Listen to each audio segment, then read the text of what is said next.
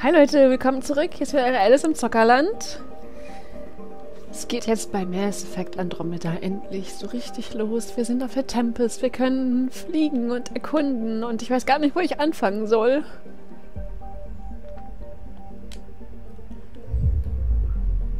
Fangen wir einfach mal da an. Das ist so völlig random. Von außen nach innen arbeiten wir uns jetzt vor. Oh, geil. Also ich werde es wahrscheinlich irgendwann mal überspringen, aber... Oh, Alter. Vielleicht werde ich es auch nie überspringen. Okay. Was, was gibt's denn hier? Das ist eine große Eiswelt. Das heißt, ich kann sonst nichts machen. Das heißt, hier wird es wahrscheinlich nichts geben.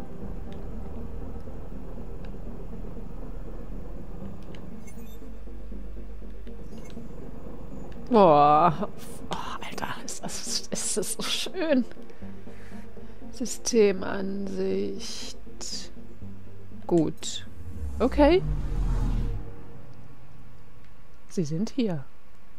Ja, ich weiß. Dann machen wir mal den hier.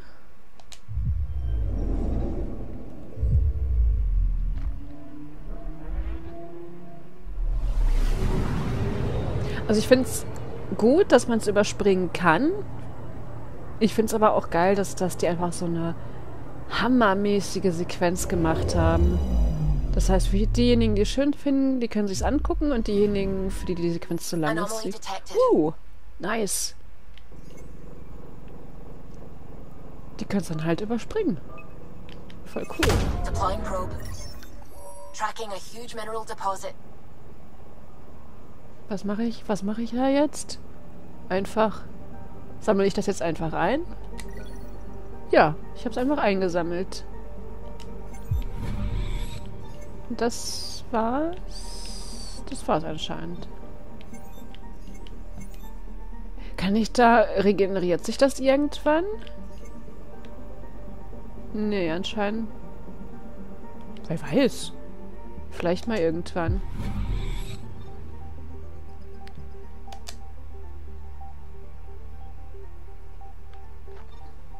Ich wollte eigentlich von außen nach innen, ne? Zum Raumschiff gehe ich mal als letztes. Da ist... Ach so, nee, das ist ja mein Planet, von dem ich gerade komme.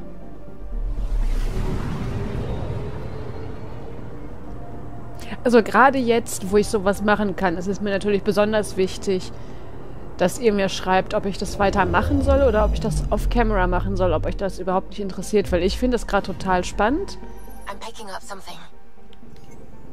Ich habe auch bei Mass Effect Stunden damit verbracht, einfach alle Planeten abzugrasen.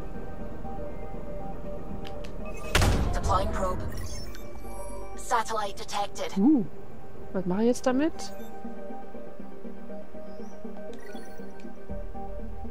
Okay, Forschungsdaten, cool. Wurde unabsichtlich gestartet. Aber das, das war's. Das war nur das eine Teil, oder? Ja. Entschuldigung. Also ich könnte jetzt echt derbe viel Zeit damit verbringen, hier alles. Werde ich jetzt auch in dieser einen Folge, wahrscheinlich, weil ich ja jetzt nicht weiß, was ihr davon haltet. Und ich weiß halt nicht, wie spannend das ist, da jetzt zuzugucken. Ne? Das heißt, das wird jetzt quasi so ein bisschen eine Testfolge. Ihr könnt ja mal gucken, ob euch das gefällt, was ich hier so mache mit dem ganzen Scannen und so. Oh, ist das schön. Es ist so schön. Anomaly on sensors.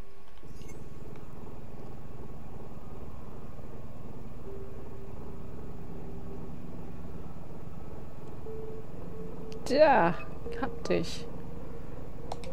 Nee, erstmal R2. We've got a crater. Oh, das kann man ja fast gar nicht lesen. Einschlag schwerer Trümmer entstand. Oh, Element Zero. EP. Hm, gut. Fortschritt 100%. Ich finde das auch gut, dass es, dass es wieder dabei steht. Wobei 100% habe ich, ich habe ja noch das Raumschiffswrack hier. Ich glaube beim allerersten Mass Effect, ich kann mich nicht mehr so genau erinnern, aber ich glaube da stand nichts. Ich glaube erst ab dem zweiten, ich weiß gar nicht mehr so richtig, wie man da... Hatte man da auch schon eine richtige Karte? Boah, ich weiß es nicht. Ich habe das ja nochmal gespielt, so ein halbes Jahr bevor. Ein halbes Jahr? Ein paar Monate, ein paar Wochen bevor Andromeda rauskam. That's the research vessel Dr. Aridana informed us of. There are no life readings within. She'll want to know. Oh. Relikt. Ah, das sind die Reliktforschungsdaten.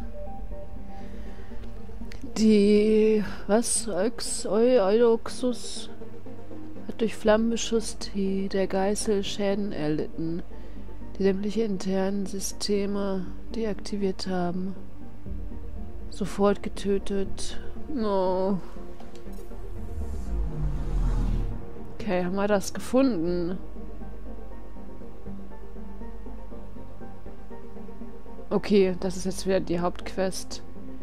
Dann gehen wir mal wieder zur Clusterkarte. Begeben uns mal 0%. Aber mehr, da ist doch, glaube ich, bestimmt auch nicht mehr, oder? Als die Nexus.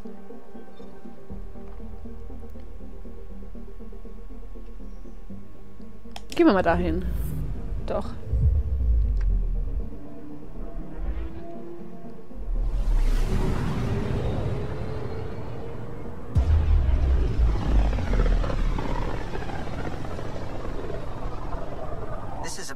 As the Nexus surveyors could get before, well, Let's see what's waiting here. Es ist einfach alles so schön. Anomaly on sensors.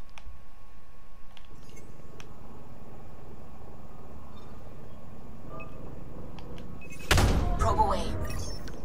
Tracking a huge mineral deposit. Oh, cool. Das hört sich gut an. Gehen wir wieder von außen nach innen.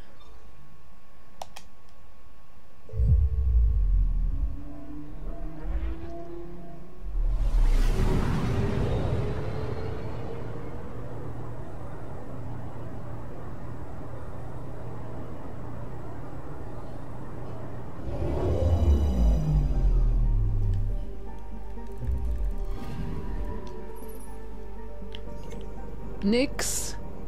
Das ist ja lame. Na gut. Kann ja nicht überall was geben. Dann haben wir den hier.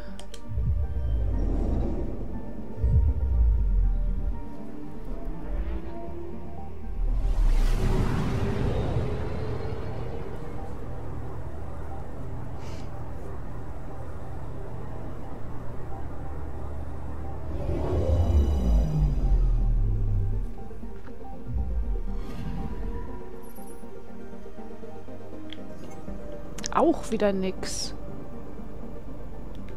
Wow, fuck.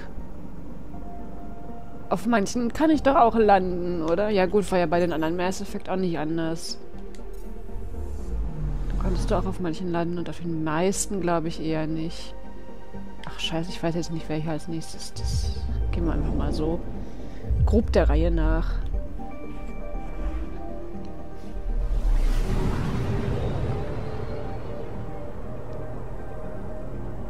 Die, auf denen ich landen kann, habe ich halt immer als letztes gemacht, weil es halt dann am längsten dauert mit dem Erkunden und so.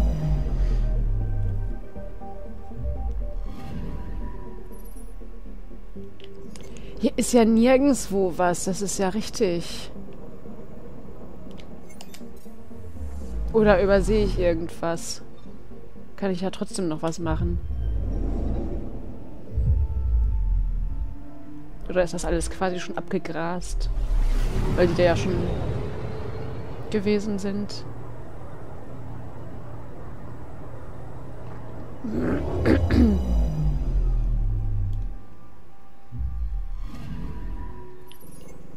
Nüscht.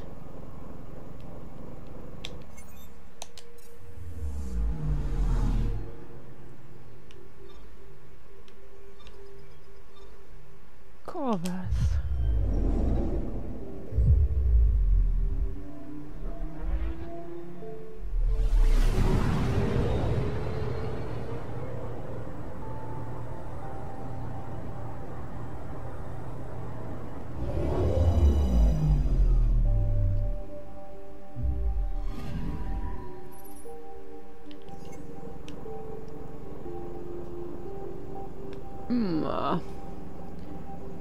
Das ist dann das. Ja, das dachte ich mir beenden. Komme ich zurück auf mein Schiff. Sie haben unbenutzte... Fe ja, es ist mir jetzt gerade völlig egal, muss ich sagen.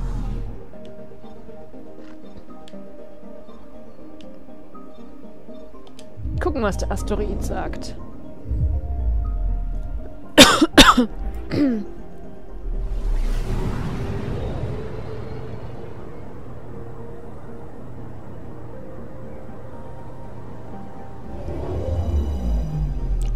Süß.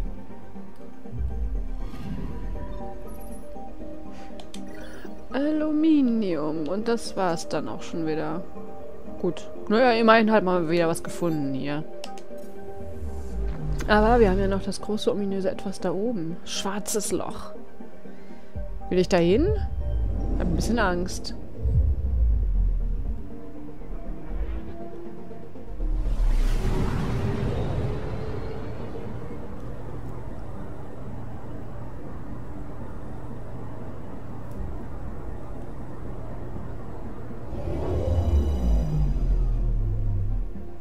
Krass, ey, Hilfe! Scannen wir mal das schwarze Loch. Zur Vorsicht wird geraten. Selbst aus dieser Distanz stellt das schwarze Loch eine Gefahr für die Bordsysteme dar. Wahrscheinlich muss ich, äh... Kann ich, kann ich mich irgendwie upgraden gegen schwarze Löcher und kann dann hier was untersuchen? Keine Ahnung. Gut, das war ja jetzt ein bisschen ein Event. Ähm, wir können uns ja schon mal dahin begeben. Ich werde aber noch nicht nach Eos gehen.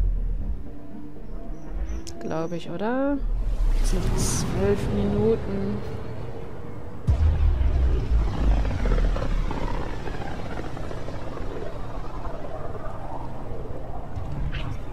System Pythias. Andromeda Initiative Habitat 1. Designated EOS. It was supposed to be an easy first step. Until no one else showed and we got clobbered. Twice. Why has Sam altered frequency detection? What are we hearing, Sam? There is a signal pathfinder. I recommend an immediate examination of EOS. Ja, später.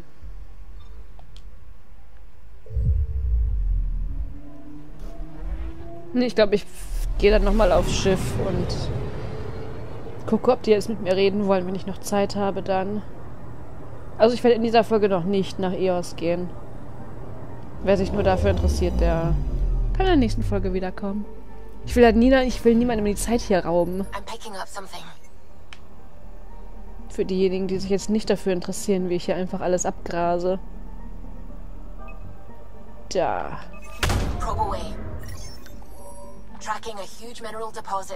Cool. Sehr schön. Das war's? Das war's.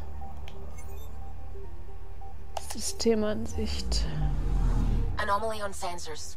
Hä? Hat die mir das eben... Hat die das aber nicht gesagt. Probe away. Tracking a huge mineral deposit. Mach mal gleich, mach mal gleich, Hase.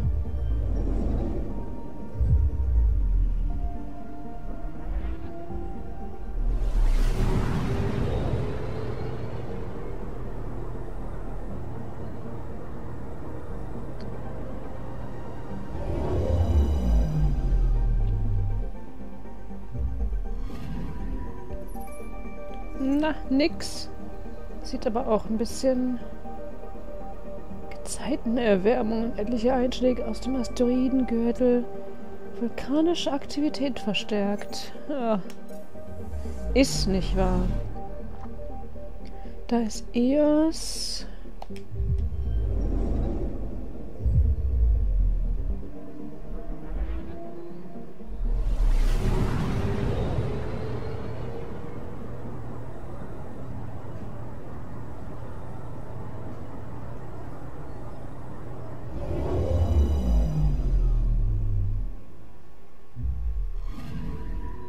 Anomaly on sensors.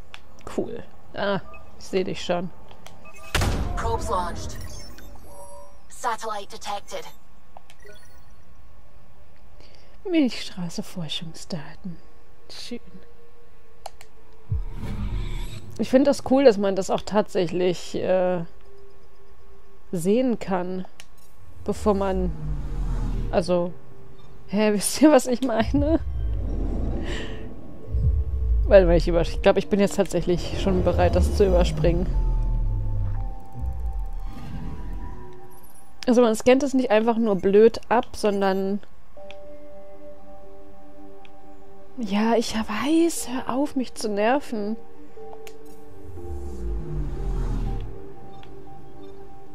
Ja, nehmen wir mal den Asteroiden.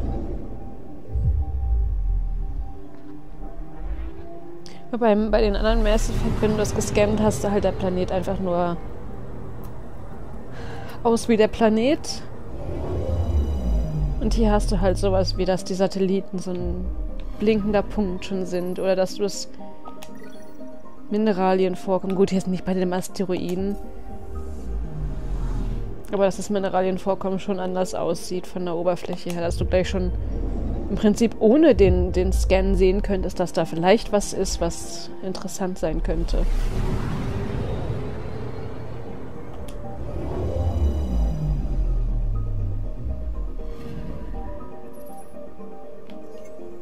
Schade, ich wollte es jetzt auch mal ausprobieren, Sachen zu finden, ohne zu scannen. Aber hier ist ja nix. Gut. Dann halt nicht. Gut. Dann gehen wir mal auf Shift zurück. Wie lange habe ich denn noch? Ich muss mal gerade gucken.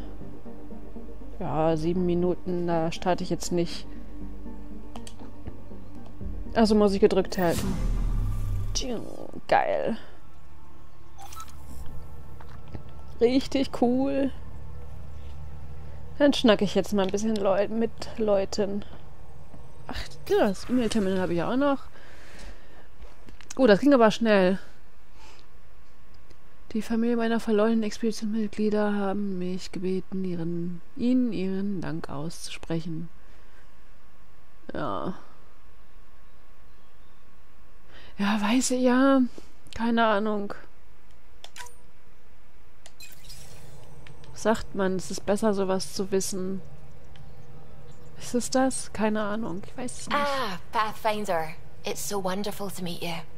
I'm Dr. Suvi Anwar, assigned to act as liaison between your crew and the Nexus Science team. Verbindung? Was?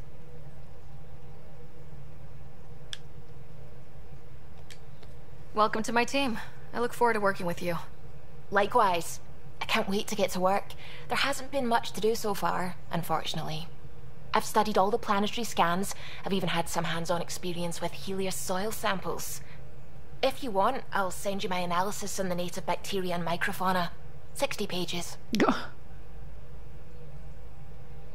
Ja. Mach mal. That's a lot of pages. About dirt. oh, you don't have to be kind. I know it's barely more than a summary. Anyway, I've waited months to get out there to see Helios. It's why I joined the initiative. The Milky Way was just a corner of a vast universe, a corner of a tiny corner. We're the ones who got to step out of that corner. It's incredible. The first time I handled a Prothean artifact, I was hooked. It was so... alien. I just knew. There's more out there, and I want to see all of it. I totally know what you mean. So will you be joining us on missions? Oh, that's funny. Me, out there, with the guns and the danger and everything. Kann ich, kann ich, kann ich eine Romanze mit dir eingehen? I'm good with guns and danger. I could teach you, and make sure you're okay out there. Really? Maybe one day, when things are more settled. I couldn't imagine a better teacher. anyway, I've just received some instructions from the science team, and I really should go over them. Later then. Sieht ein bisschen abgeranzt im Gesicht aus, aber ich liebe ihren Akzent. Nur deswegen will ich eine Romanze mit dir eingehen.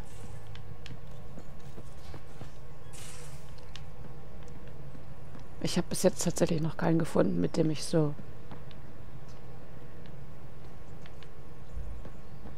hm, eine Romanze eingehen wollen würde. Ausstattungsstation. So, da habe ich dich endlich gefunden. Ich wollte nämlich, ich habe doch... Was? Was? Wo ist mein fucking Pathfinder-Helm?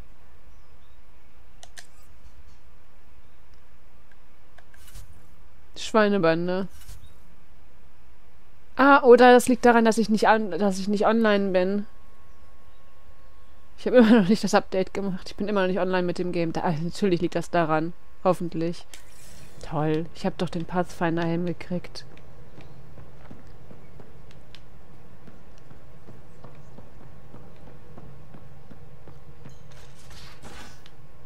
We haven't really spoken since orientation, have we? It's all been so hectic, but I'm sure things will quiet down soon. Can't be worse than the Nexus. Ich mag diese Glas... Also an sich ist es total geil, aber auch ein bisschen gruselig.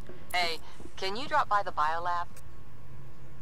Es gibt diese eine Brücke, die einfach nur aus Glas ist und keine Ahnung, 500 Meter oder so oder noch höher über dem Boden.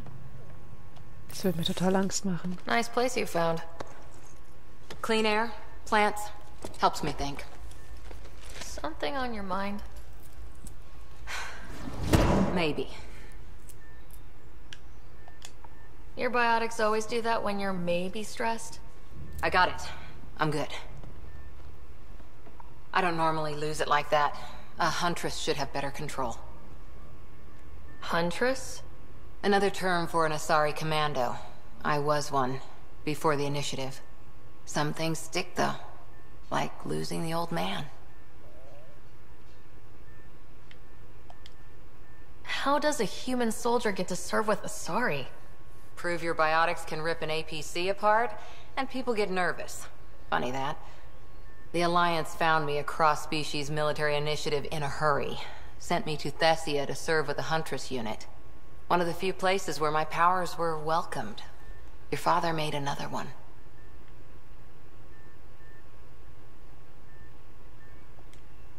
There's a lot of loss going around. Dad, the Golden Worlds. A friend and mentor who trained you to be a Pathfinder. I prepped for years as your father's second. Then he chooses you? An untrained Pathfinder and all this mess to fix? The hell was he thinking? Is this going to be a problem, Cora? I don't want a rival. Just answers. It, it's done. Best I can do now is be your second. Keep your father's mission alive. Then maybe we'll all get what we came out here for. irgendwie ja. Even if we get there, there's a mountain of hard work ahead. Working hard was never my problem. Biotics like this. Thinking like an Asari huntress. I never had a place. Best I could be was a useful freak. The initiative was meant to be different. Will be different if this mission succeeds. So I'm seeing it through. It's quiet in here. I can keep the plants watered while I work. First job, see if there's any news on the Asari Ark. If they made it, we could use some Asari expertise. If you want to talk, I'll be here. Ich weiß nicht, aber du machst mir Angst. Deswegen will ich auch keine Romanze mit dir eingehen.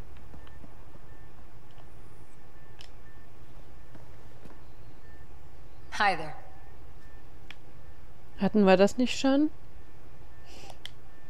You were in the Alliance before you became a Huntress, right? What made you join up? My biotics. I was still living on my parents' cargo freighter when they manifested. Untrained biotic power on a starship means accidents. But we couldn't afford a tutor.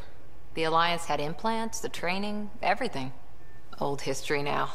Your turn. Remind me why you came to Andromeda. The Prothean digs woke us up to how much we don't know, and to what humanity's next leap might be. Then Dad's career collapsed. His AI research made him too toxic. I heard. Must have changed everything for your family. I wanted to find worlds and secrets no one had ever seen, and Scott was itching for adventure. So, Andromeda. None of you writers ever think small, do you? What did you do while you were part of the Asari military? Four years in a commando unit called Ta Lane's Daughters. Part of the Council's cross-species military integration initiative. Your time defending Silva's expedition was probably more important.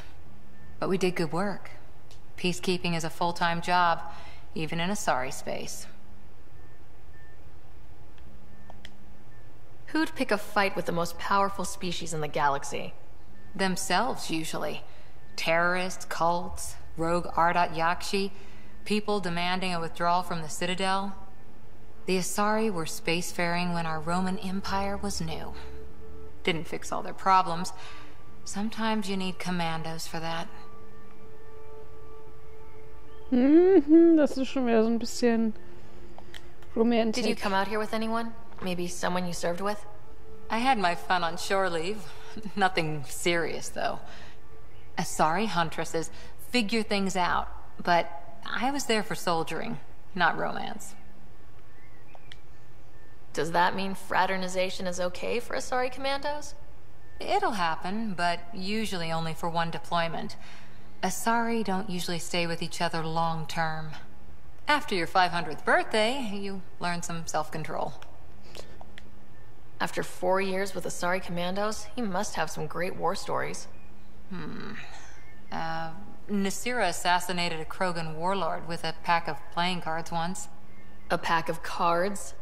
Choking hazard, apparently. Wow. Oh, wie viele Kriegsgeschichten hat sie denn? Any more commando war stories? I Always liked Janae. She was only 200, and with me around, she wasn't the kid anymore. She was a biotic protege. I once saw her yank an AA gun right off its housing, crushed a gang of slavers with it. Ouch. They didn't feel it for long. Janae was a good friend. Maybe she still is back there. Won't be a kid now, though. Ah, ich mag ihre Kriegsgeschichten, aber ich muss See eine you Pause later, machen. Cora. I'll be here. Okay, dann war das erstmal das. Vielleicht spreche ich einfach in der nächsten Folge gleich nochmal mit ihr. Dann. Wieso bin ich jetzt auf den Fähigkeiten? Bin auch sonst immer woanders. Da bin ich sonst immer. Ähm. Nee, da bin ich immer. So. Das war erstmal wieder das. Mm, genau, nächstes Mal geht's nach EOS. Ich überlege gerade, ob ich vorher nochmal mit dem Team spreche, mich ein bisschen umgucke und dann nach EOS. Ja, ich glaube, so mache ich das.